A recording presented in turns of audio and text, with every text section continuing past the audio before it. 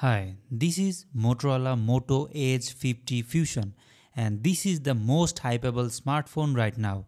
So today we are going to see how you can uh, remove the forgotten screen lock like pattern lock, pin lock or the fingerprint lock. So this is pattern lock. So if you forget it then what you do?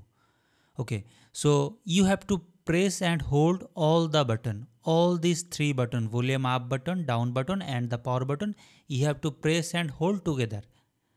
Okay. I am pressing and holding until it's turn off. When it's off then you release volume up and the power button.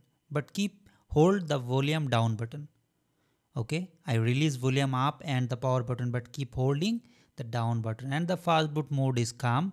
Now press volume down button and select recovery mode.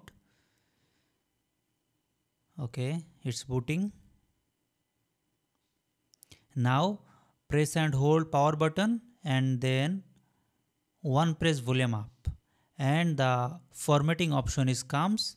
Now press volume down button and select wipe data factory reset then power button and then again factory reset. Okay it's formatting right now.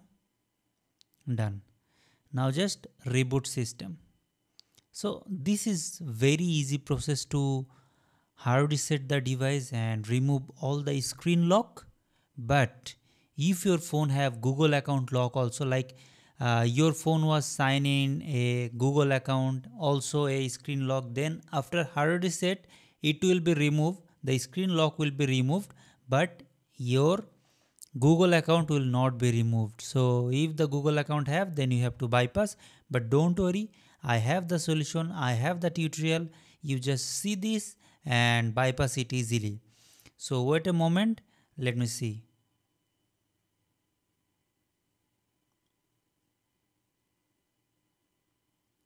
Okay so the screen is set up screen is come now click start. Skip. Skip okay now connect Wi-Fi. You can see the lock icon upside uh, left corner.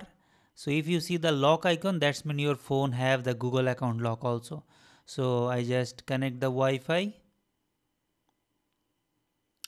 If your phone was not Google account then uh, there is not asking the uh, Wi-Fi connection and you don't show the lock icon on the upside left corner. So uh, we are clear that our phone have Google account lock. So if your phone have Google account lock, then you just follow the I button. You can click here and also you can see the description and the comment.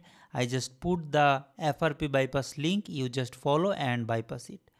So if your phone uh, don't have any Google account lock, then you just next, next, next and your phone will be ready to use. But this phone have the google account lock also.